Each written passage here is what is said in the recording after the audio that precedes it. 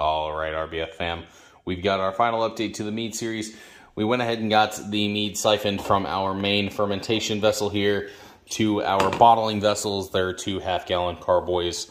We've got this mead here and this mead here. This one is going to be a plain honey mead.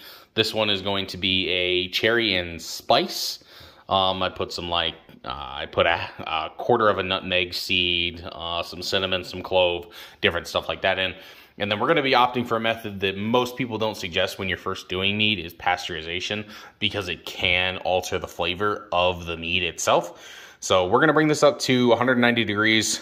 We are going to take it off of the stovetop. We're going to put the bottles in.